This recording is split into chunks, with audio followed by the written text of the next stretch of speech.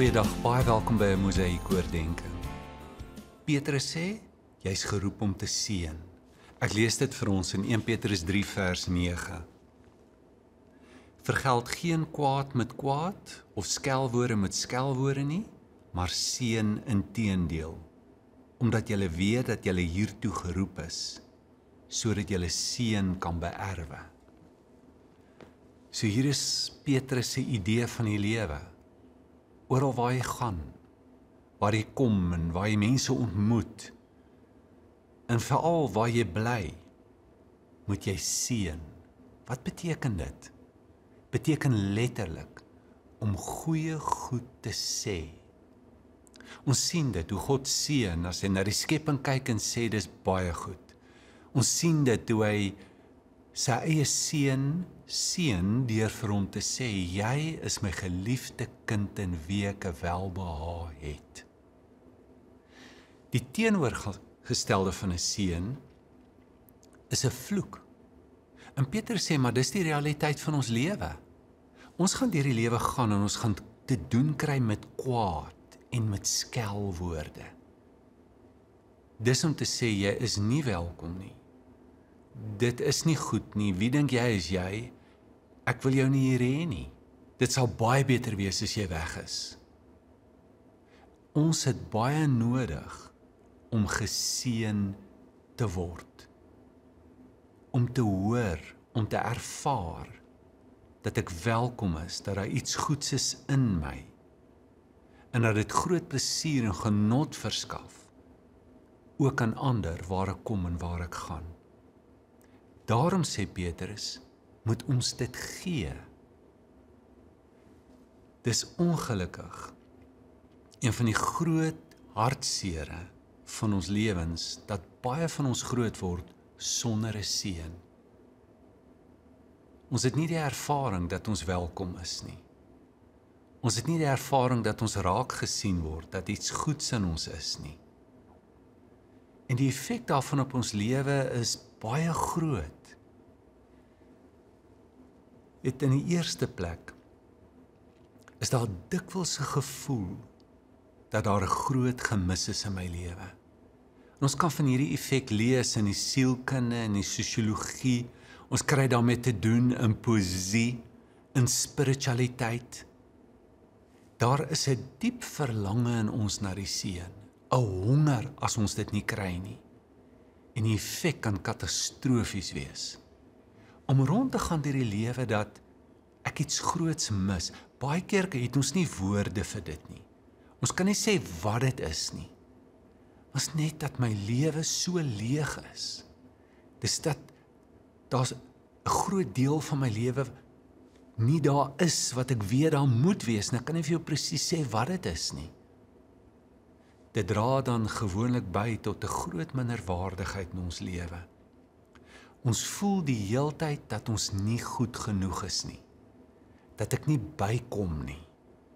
Daar is nooit 'n tevredenheid in my of ek sien ook in die ander rondom my nooit 'n tevredenheid oor my nie, oor wat ek doen en wie ek is nie. Dis asof ek nie genoeg het nie. Die gevolg daarvan is natuurlik groot pyn in ons lewe. Ons sien dit byvoorbeeld in die lewe van Kain Genesis 4 wat ons die eerste keer bekendstel in hierdie groot eksistensiële pyn wat ons dikwels mee in die lewe deurgaan. Hy het 'n ervaring dat sy offer nie aanvaar word nie.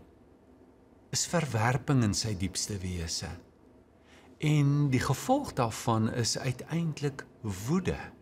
Saam met die pyn gaan 'n woede gepaard. En ek's net kwaad. En baie keer weet ek ook nie hoekom nie. En as ek kwaad is vir alles en almal om my. Dit speel dikwels uit in 'n woede teenoor autoriteit of gesagsinstansies en figure. In in die mannebeweging en die vrouebeweging in die wêreld maak hulle nogal baie van hierdie woede waarmee ons dikwels deur die lewe gaan. Wat daar is as gevolg van die feit dat ons nooit 'n seën ontvang het ervaring gehad het dat ons geseën is nie. Dikwels aan vroue teenoor mans of enige gesagsfigure. In mans speel dit dikwels uit met 'n beheptheid oor seks en seksualiteit. En dis natuurlik 'n groot uitdaging, 'n ontwrigting om so deur die lewe te gaan. En as jy groot vra, hoe hoe kan ek 'n seun ontvang? Ek het hierdie honger, ek het hierdie groot behoefte in my en ek het dit nie gekry nie. Wel een ding is jy kan dit nie vir jouself gee nie. En jy kan niemand dwing om dit vir jou te gee nie.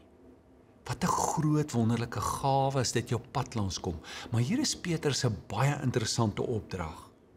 Hy sê eers jy is geseën. So ontvang eers die seën van die Here. Hoor wat hy van jou dink, hoe hy oor jou voel en wat hy oor jou sê. Jy is sy geliefde. Hy het welbehae in jou. Jy verskaf hom genot. Deur dit te glo te aanvaar, kan jy dit ervaar in jou binneste. Dis die eerste groot stap. Die tweede ding wat baie miskien teen ons intuïsie gaan is, gee dit vir iemand anders. Dit help nie om deur die lewe te gaan en almal te hang en te sê seën my, sê vir my wat jy sien en erken dit, aanvaar dit nie. Nee, gee dit. Dis die Bybelse manier wat jy wil hê, gee dit.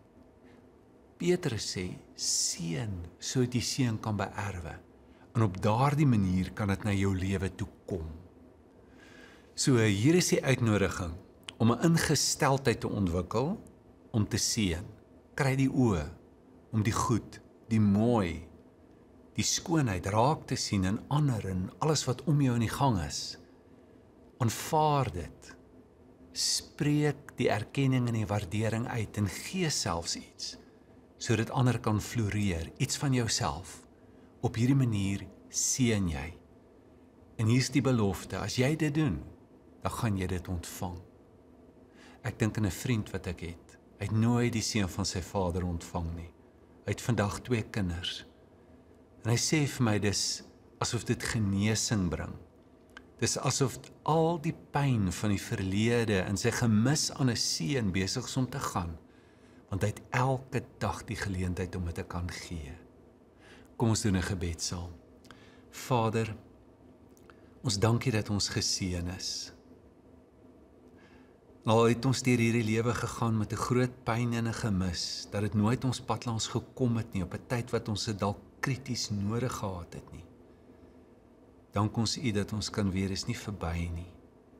En vandag deur hierdie lewe te begin leef dat U ons sal seën en dat ons dit sal kry en ervaar. Ons dankie daarvoor in Jesus se naam. Amen.